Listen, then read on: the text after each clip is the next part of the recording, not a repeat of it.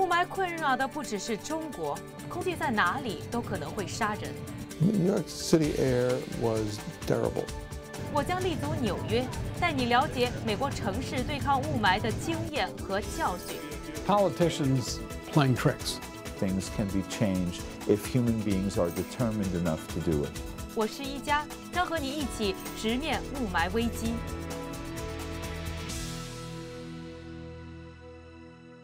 收看《一家之言》，我是一家，这是我们创美旗下的又一档新节目。首期节目呢，我们会从美国出发，换个角度探讨那些在中国呢大家都非常关注的话题。第一期的节目呢，我们会从呢生活的一个细节出发，那就是空气。空气对我们的生命实在太重要了，它无处不在，无孔不入。但要是空气出了问题，那我们谁都逃不开它的侵害，而且面对它也无从下手。首先来听一下呢，街头的纽约人是如何评价纽约的空气质量的。Uh, so the air quality has increased a, a lot since I was a kid. Uh, like a lot. The, the, the sky's blue again. That's nice. I feel like it was more or less maybe the same. The ambient air quality seems kind of the same. It has improved tremendously over the last few years, especially uh, when Bloomberg was mayor.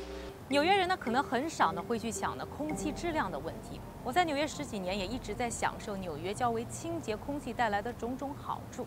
这里呢，我给大家看一张照片，对比呢我背后的蓝天白云，你可能很难想象呢这个照片当中呢被烟雾迷绕的城市也是纽约。对，这是一九六六年的纽约，就在那个冬季，整个纽约城被雾霾笼罩着。也就是那个冬季，让纽约人明白，竟然连空气都是可以杀人的。 New York City air was terrible. It was smoggy. There were many uh, big particles in the air. If you if you uh, left your car on the street, it'd be covered by dust. If you open, left a window open, dust would come in.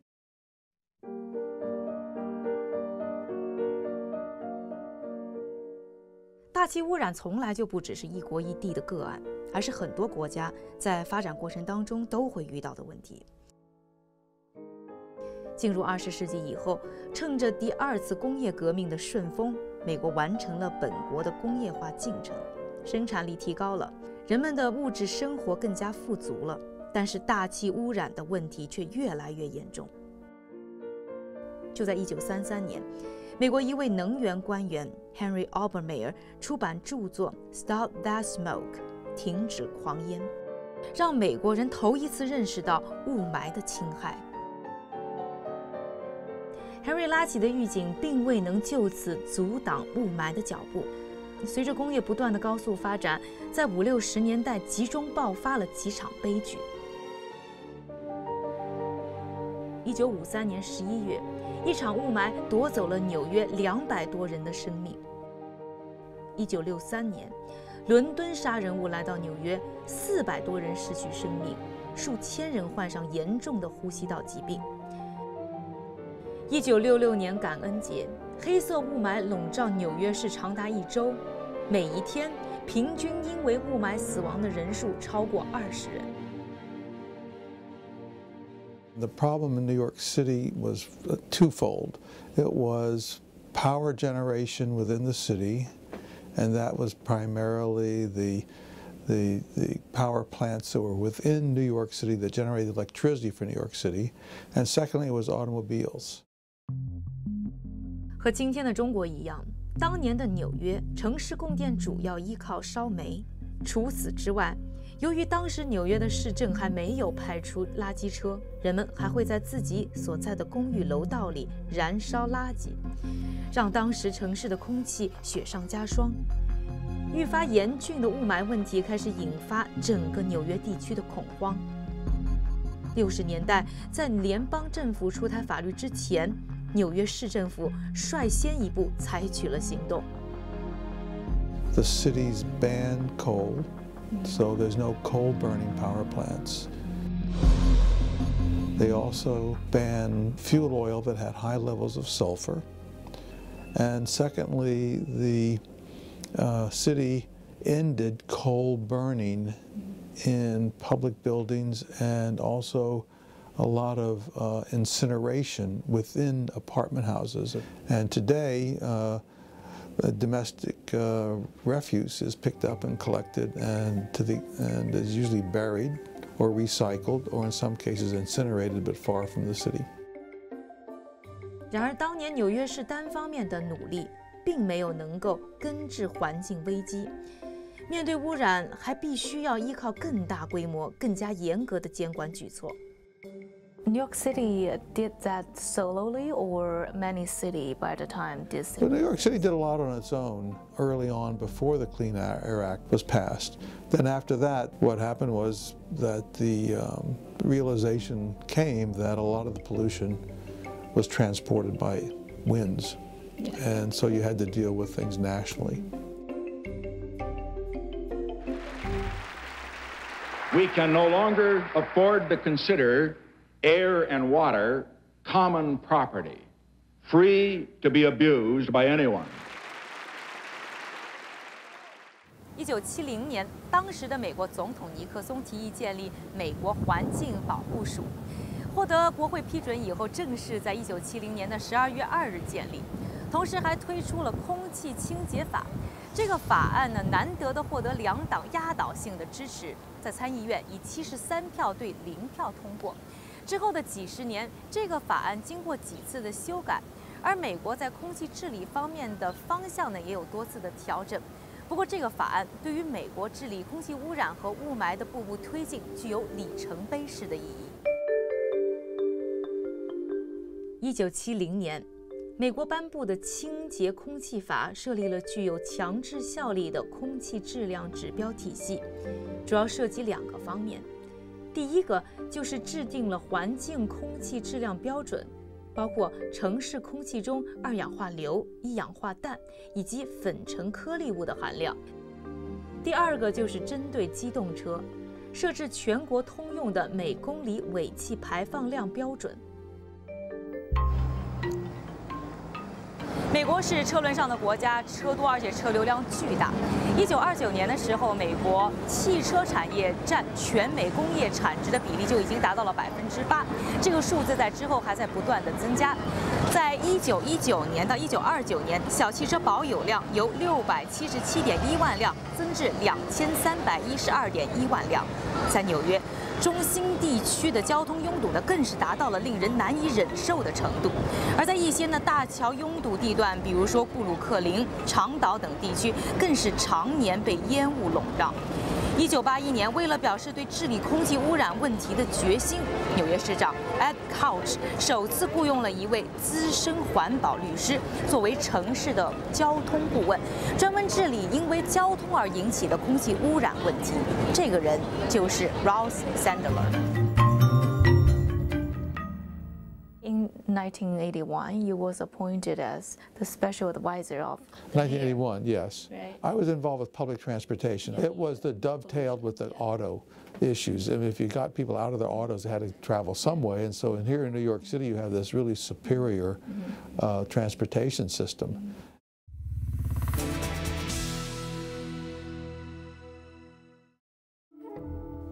Ross 在任期间，为了响应美国环保局 EPA 关于节能减排的要求，提出了几套治理的方案，并让纽约交通局呢用两年的时间呢，对于这些呢治理方案进行评估，选择出最适合纽约市的。而根据我找到的一份1988年《纽约时报》的报道，两年时间快过去了，纽约市交通局还是拿不定主意，Ross 的任何方案都无法被启动，更别说成效了。It took much longer time to push the plan you had by the time. Why, why is any automobile plan that didn't involve changing the equipment was to reduce the miles traveled. Mm -hmm. If you reduce the miles traveled, then you can reduce the amount of uh, pollution from the tailpipe. That was the theory. Mm -hmm. And so, but what that meant was you were telling people they couldn't drive here or you or restricting them there, and uh, politically it became impossible.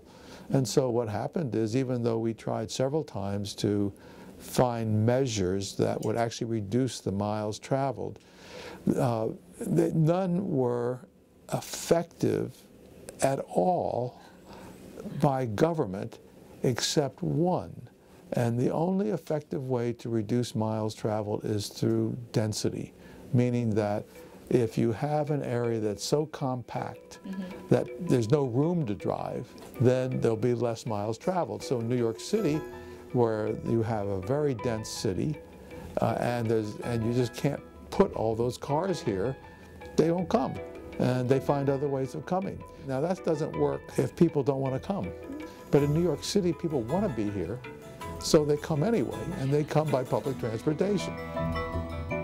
暂时无法减少私家车的数量，Russ 代表的当局纽约政府就开始在别的地方动脑筋。他们发现核心的要素就是要提高人们对于公共交通的使用。地铁在现在纽约人的生活当中扮演着非常重要的角色。每天上下班呢，我都能在地铁里看到来来往往的纽约人。纽约地铁的好处还是挺多的，一个呢是价格便宜，另外呢就是节省时间。现在啊是中午差不多一点，那我们现在就来做一个实验，看看啊到底在纽约是坐地铁快还是坐车快。就以呢我们家楼下呢为起点，离我们公司的楼下呢为终点。我们先尝试一下呢，看看这个打车要花多少时间。嗯，我这个手机上有一个秒表啊，那我们现在就开始计时。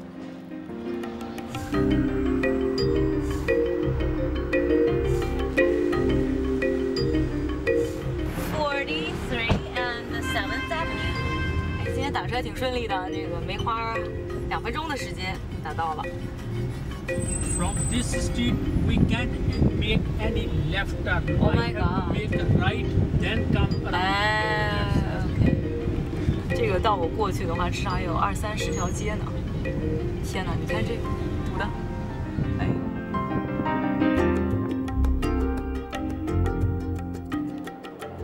过，在八十年代的纽约，汽车多还有一个原因，就是没人坐地铁，并不是没有地铁，只是人们不愿意去坐。八十年代早期的纽约地铁曾经是犯罪多发区域，设施也极为陈旧。为了安全，很多人出行宁愿堵车，也不要坐地铁。The transit system was falling apart because this was the time New York City was going close to bankruptcy. And part of the way they try to save money is not maintaining the system, so the system was breaking. 越离时代广场近，好像又开始有点点小堵。 And we knew that if the system broke, the air pollution and the traffic jams in New York would be just terrible.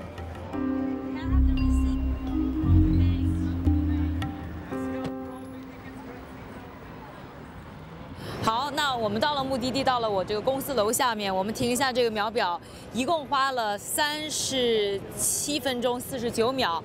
然后刚才的这个车费呢，是加上小费，一共是二十一块八毛钱。那我们下面再来试一下，就是坐地铁到底要花多少时间、多少钱？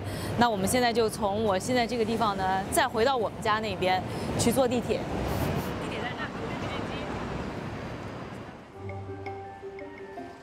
为了让公共交通能够更好地分担城市大量交通的重任，纽约政府从1980年起开始投入180亿美元整修地铁。我每天呢就是坐这样的地铁呢上下班儿，呃，那我一般呢从地铁站开始呢到上班的地方，家和公司差不多有四站路，呃，一会儿呢咱们就到了，看看到底要花多长时间。一九八五年到一九九一年间，有超过两千辆地铁得到整修，并且安装了空调等新的设备。另外呢，纽约的治安呢也从八十年代末期开始逐步的好转。很快，人们变得越来越爱坐地铁。截至二零一四年，纽约的地铁每天运送六百一十万人次，在全美各大城市当中，纽约居民走路上班或者利用公共交通上下班的比例都是最高的。那从我们上一趟的终点，也就是我办公楼下面呢，回到我家楼下，也就是我们之前的起点啊，一共花了看看这个秒表的时间是十七分五十二秒，确实是省了不少时间。而且要知道呢，在纽约呢，坐一趟地铁的单程票价是两块七毛五美元，那到城市哪里啊，票价也都是一样的，确实比呢出租车还省了不少钱。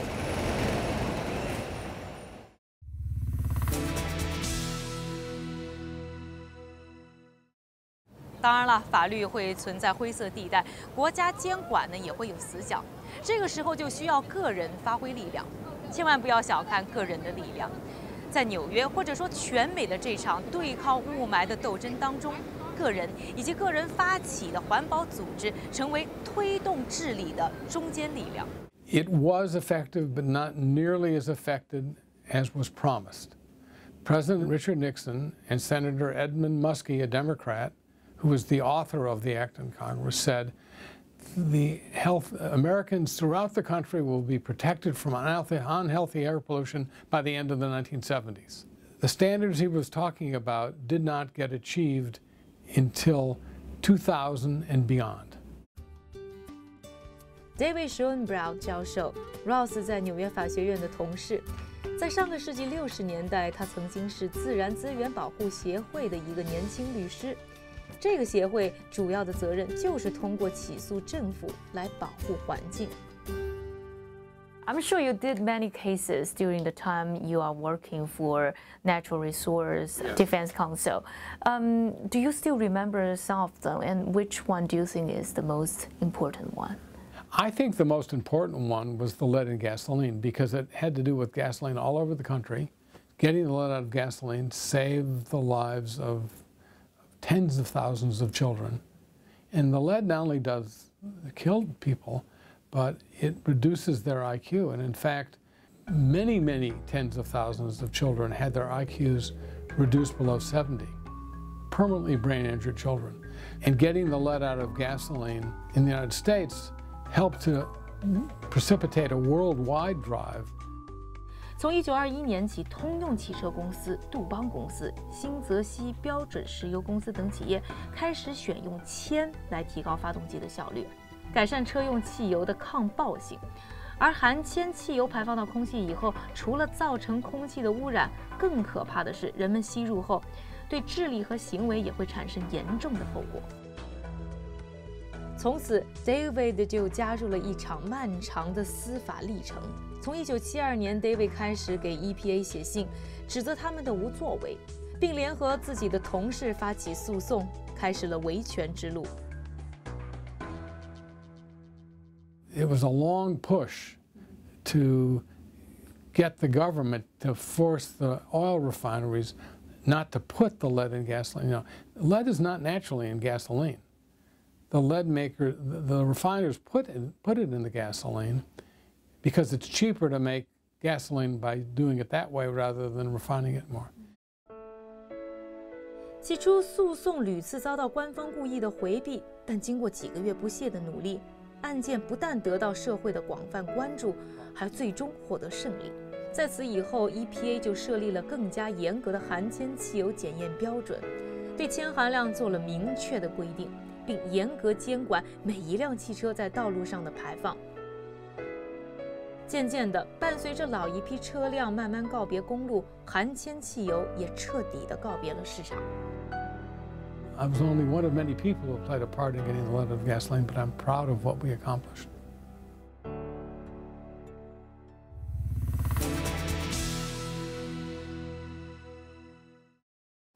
当年关注环保的普通市民，除了采取呢和政府面对面的硬性对抗，还有很多的人呢是采用了一些比较温和的方式。最有代表性的呢，就要算自行车团体。一九九零年的时候，纽约市政府呢突然关闭了我背后啊这个纽约非常重要的交通枢纽 Queensboro Bridge 上呢唯一的一条自行车车道，希望能够全面的向机动车开放，来缓解呢交通拥堵的问题。这一举措呢，迅速的引起了那些呢自行车团体的不满，他们也马上做出了行动。我非常幸运的找到了当年的代表之一。Hi Charles, I found this interesting picture. I think this is you. Yes, Right. 24 years ago. Wow, 24 years ago, what happened? Well, the bridge in the back of that picture uh, is the Queensboro Bridge. Yeah. And the city had shut down the bicycle lane during rush hour so they could put more cars. Um, and uh, we um, organized protests that were held every Monday for six months. And on the last one of the year, the police came uh, and arrested six of us because we would not get out of the way and let the cars go on the bike lane. 尽管六个人被逮捕了起来，但是在法庭审判的时候，抗议六人组最终还是被无罪释放了。律师为他们辩护说，他们的所作所为不仅仅是为了增加一条自行车道，更是为了通过鼓励更多人骑自行车来减少车辆带来的空气污染。Are there anyone started to ride a bike because of you? um, you know, who can say? Um, but there's now uh, about four times as many people riding bikes in New York on a typical day as there were 25 years ago when that picture was taken. And sometimes I look at them and I feel like, well, maybe some of them are my children. And, you know, that I help to change things uh, to make it safe to ride. But you know, change doesn't come from one person. It comes from having many people who organize and who advocate and who sometimes agitate, but who do things in a positive spirit uh, that leads people to want to pull together and make the change.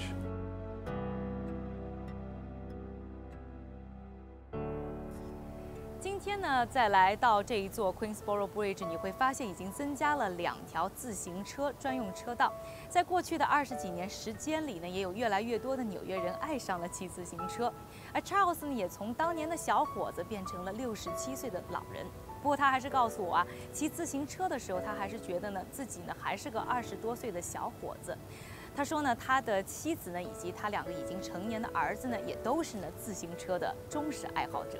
Like there's a, a beautiful mountain road, uh, maybe 25 kilometers from here, uh, on the other side of the Hudson River uh, in New Jersey.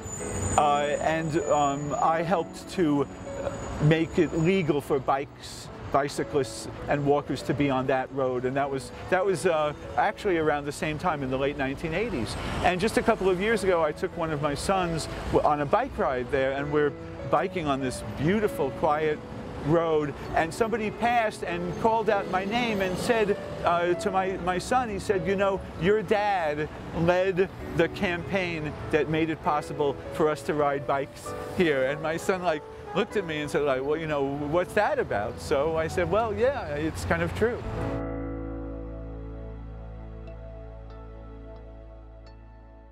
像 Charles 这样的人，在美国绝对不算少数。 早在1970年，在美国就有人发起了世界上最早的大规模环境保护运动。后来，这一天还成为世界地球日。直到今天，世界地球日都在提醒着人们环境保护的重要性。当年的这场运动不但催化了人类现代环境保护运动的发展，促进了发达国家保护立法的进程，而且直接催生了1972年联合国第一次的人类环境大会。除了街头运动，更多非营利组织则开始在政治游说和提高人们环保意识方面做着辛劳的努力。Moms Clean Air Force 是一个由全美五十万个妈妈组成的环保组织。Natalie 有四个孩子，Trisha 也是两个孩子的妈妈。因为自己的孩子生下来就患有哮喘而加入了这个组织，并成为其中的中坚力量。When did you discover Mounds Clean Air Force? Um, so in 2012, a train carrying uh, 23,000 gallons of vinyl chloride had derailed and polluted the air in our home, making my family sick. And I knew Gretchen Dahlkemper, who was our national field manager at the time, and I reached out to her on how what I could do um, because it, it made me realize that fighting for clean air is something that we all need to take action on and that it wasn't something I could just go and buy at the store, that it was something we all had to fight for. Mm-hmm. Yeah, air pollution is not something we can shop our way out mm-hmm. of. You know, we can choose to buy organic and, you know, um, filter our water. There's, there's things that we can do if you have the money to do those things, of course. Um, but when it comes to air quality, there's no way we can shop for different air. So it's something that we really have to fight for. And when we mean fighting, we might mean by nonviolent direct action. We've, I've learned a lot about lobbying from Mom's Clean Air Force and how to speak to our elected officials because it really has to come down to regulation. Where will we go when the ozone's gone? 这个由妈妈们组成的环保团队还在鼓励自己的孩子一起加入游说。 并开办了妈妈峰会，想要提高周围民众对环保问题的重视。同时，他们还邀请来了很多美国商界、影视界的明星妈妈加入宣传。I'm Julianne Moore, and I'm a mom. Mom's Clean Air Force is a new movement of women coming together to do everything they can to strengthen the Clean Air Act. It's time for Washington to listen to our mothers. 二零一五年，奥巴马出台更加严格的限制臭氧排放的新规定，还被妈妈们看作是一次阶段性的胜利。And if we can come together and get this right, we can define a sustainable future for your generation. We are the government. We need to stay engaged and realize that it's not a government or a citizen thing. It's an everybody thing, and we need to work with our government. I know there's a lot of attacks on government sometimes and a lot of anti-government sentiment, and I don't think that's going to solve any problems. I think that you know the people need to come together and realize their responsibility to participate in government. 在对抗雾霾的斗争当中，除了来自政府和公民的努力之外呢，其实商业活动的变化呢也是重要的推动力之一。 我现在所处的呢是曼哈顿的切尔西区，来过纽约的朋友一定知道呢，这里是纽约重要的艺术商业区。但是呢，在上个世纪呢六十七十年代的时候啊，这里呢可是聚集了各种啊，像奥利奥饼干厂啊，各种肉类加工厂的厂房区。到八十年代的时候呢，各种的厂房的撤离，使得呢切尔西区呢一度呢陷入了商业的荒漠。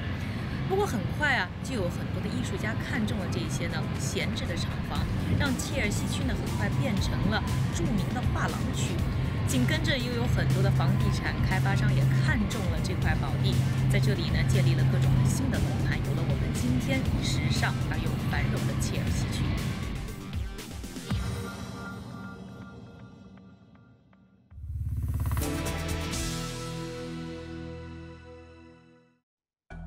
除了大家刚才看到的位于曼哈顿的切尔西区，其实纽约的布鲁克林区也经历过同样的转变。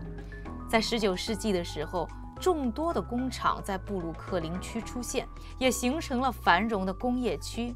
但是到了20世纪中叶，也同样因为产业转移，使得布鲁克林原本繁荣的重工业和制造业一下子衰落了，留下大量的闲置厂房。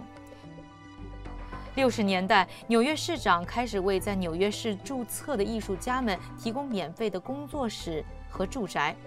一时间内，昔日的空闲厂房很快就成了画家、演员、摄影师、作家的新天地。今天再来到纽约，著名的艺术繁华区 Dumbo Williamsburg，和当年的切尔西区一样，都是这样发展起来的。几经变化呢，纽约市还是留下了很多呢为城市提供电力的电厂。我现在所处的雷文斯伍德电厂呢，就是呢经典代表之一。那这个有超过五十年历史的电厂啊，被纽约客亲切地称作 Big Alice。当年呢，这个电厂呢可是纽约皇后区的污染源之一。我们现在还能看到这个巨大的工具啊，就是当年用煤的年代留下的。不过放在这里呢，只是做纪念了。几十年的时间当中，这个电厂也是发生了巨大的变化，早已经和煤呢说了再见。我们一起来听一下，在电话采访当中呢，来自于电厂的人告诉我们，他们到底经历了什么。So let's start with um, the question about the the history of uh, Big Alice. Can you tell us a little bit about its history? The facility itself was, I think it's been in New York since 1963, and it produces about 2,480 megawatts of mm-hmm. uh, power mm-hmm. that can roughly uh, provide about 21% of New York City's power. If you're mm-hmm. familiar with Hurricane Sandy, um, yeah. when uh, when the superstorm happened, we there was so much flooding in a lot of the generating stations across the city that um, mm-hmm. Our facility ended up picking up a good chunk of the load, and we were mm-hmm. providing about 50% of New York City mm-hmm. at that specific moment. Got it. And another question is how, what kind of fuel does Big Alice use to produce electricity? So the facility has um, evolved over the last uh, several several years, but since we've owned it, Mhm. um, uh, Ravenswood basically it operates off of a combination of natural gas and fuel. But that Mhm. being said, the mixture of that would probably be about 90% natural gas and the Mhm. remainder fu- fuel. These days, sometimes the facility can operate 100% off of natural gas. Do you think natural gas is more um, cost saving? Uh, well, natural gas is more affordable, but natural gas is definitely the cleanest way to operate the facility. 从采访中我们能听得出来，鼓励这些电厂商家使用更清洁能源的，首先是商业利益。当然，美国的政府也是不断推出严格的规定，推进能源的清洁化。美国的治理办法，据我了解，它是这个渐进式的，就是比如说我规定，从今天开始，所有的新企业都必须上马这个污染控制措施，如果你达不到，那是不会审批，这个环保环这个环评是不会通过的。但是旧的它是不管的，但是随着科技的发展，它旧的厂子它不能升级，一升级你就要满足这个环境标准，就得上新的东西，所以呢，有的旧厂它就被动的淘汰了。为什么？它没法晋级，它的产品比不过人家新的，哪怕是环保成本高的产品，所以没有人买它的产品。它的产品差，即使便宜，别人也不愿意买。那么的话，它自然就倒闭了。这个，但是新的厂子它会是要求很高的。像我们节目当中说到的，由于有来自于政府的监管以及呢民众的呼吁和监督，同时呢经济生态呢也发生了不少的变化。经过半个世纪的时间，美国的污染已经下降了百分之七十，再也没有发生过呢我们节目开头呢向大家展示的这张照片上呢发生的惨剧。在二零一三年的时候，纽约市长呢布隆伯格呢还向纽约市民宣布。就在二零一三年，纽约的空气质量已经达到了五十年的最好水平。与此同时呢，美国的经济似乎也没有呢就此呢被拖后腿，在五十年的时间当中，经济总量翻了两倍。New York uh, has the cleanest air now of any major American city. Today, our air is the cleanest it's been in almost 50 years. And that cleaner air is saving nearly 800 lives a year in our city. 节目呢和大家呢一直在探讨啊，就是美国和纽约呢在治理呢空气污染方面的一些经验。但是呢，回到这个核心问题啊，我们想要回答的依然是中国的雾霾问题，我们能做什么？那在一路采访的过程当中呢，我和不同的人也在讨论这个问题。那这真的不是一个呢容易回答的问题。有的人非常乐观，有的人呢非常的悲观，他们给了我呢各种各样不同的答案。